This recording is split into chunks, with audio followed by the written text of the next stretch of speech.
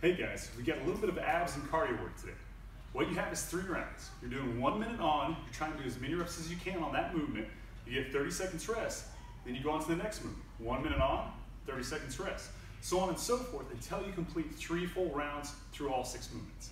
Starts off on the abs, lying leg raise first, hands underneath the butt, bring your legs up, make sure your hips leave the ground every time. Good for that reverse spinal flexion to keep up on those abs.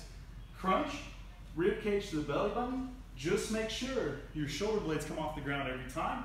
Bicycle, opposite elbow, opposite knee. Get that rotation of the spine. After the abs, we go through our legs. Your jump squat, touch the ground, jump up as high as you can in the air, and back down. Okay? Next one is side shuffle. You need about a five, 10 yard distance. You're gonna be in the athletic position. You're gonna side shuffle over to one side, then back over to the other as quick as you can, as many reps as you can in that minute. And lastly, the split leg lunge jump. Come in here, lunge position, jump up, switch legs, jump up, switch legs. You have to do both sides for that whole minute, okay? If you guys have any questions on this one, let us know. We'll help you out.